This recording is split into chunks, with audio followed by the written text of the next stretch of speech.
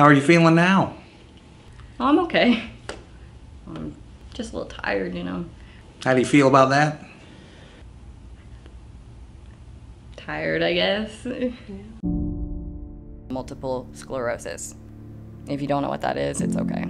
I limp, I get headaches, I get tired easily. You could even say I'm clinically depressed. It's perfect outside, and you'd rather be alone with your couch. Let's go out tonight. Lily, you honestly think I would rather be alone, not hanging out with you? You're not that disabled. How what? Back to ground zero. Yay! You seemed fine yesterday and you fell asleep at midnight last night. How can you be tired? Did you take your meds today? yes, Then what's the problem? It still bothers me.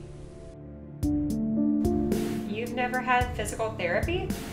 It's every time I have to climb two stories to get to my apartment. I was recently fired for my poor work performance. You know, the more complaints we receive, the more likely there will be results. They cannot fire you for that. I mean, there's laws. Staff's a little insubordinate, so. Well, fair enough. You have a disease. You just have to decide what you're going to do with it. I really want to be an actor. You're holding back. Thank you for your honesty. My son tells me that I'm a fighter. What's that? It's not for me. Pretty fancy, right? Is this for me?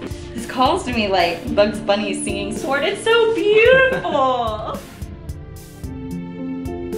I want to keep this friendship growing, despite its obvious roadblocks, you know? How did I let you talk me into this? You said you were bored. I am not lazy. I'm tired. And as soon as I'm not tired, I will sort it out, okay? There's nothing wrong with asking for help. This is something you really want to do. Do you want to try?